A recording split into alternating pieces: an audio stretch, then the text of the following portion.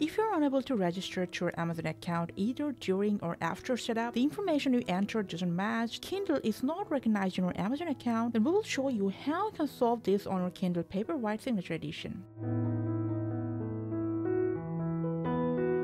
If you're facing this problem during setup, and if you're absolutely sure the Wi-Fi is okay and you're putting down the correct Amazon ID and password, what you can do is just press and hold on this power button and from this pop-up, just restart your device once.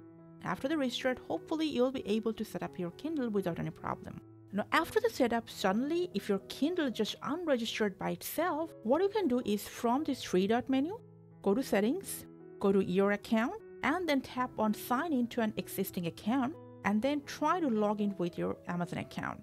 Now this can sometimes happen while you travel with your Kindle to another region or location, and Amazon can detect it from its originally selected location. If you're unable to sign in by this process, go back to the register page by tapping on this cross. From this three dot menu, go to settings and tap on this three dot again and then just tap on reset to factory default. Now hard reset will delete and erase all your customized settings, but all the books you have bought or downloaded will be restored once you log in with your same Amazon ID. After resetting, your Kindle will restart again and all you have to do is just reset a bit again.